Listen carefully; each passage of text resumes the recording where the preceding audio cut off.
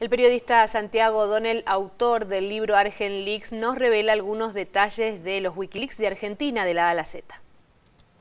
Bueno, después de la serie de, notas sobre Wikileaks que realicé en página 12, me encontré con que me sobraba mucho material que quería difundir y, organizarlo y tratar de contar la historia de una manera un poco más, extensivamente y más redonda.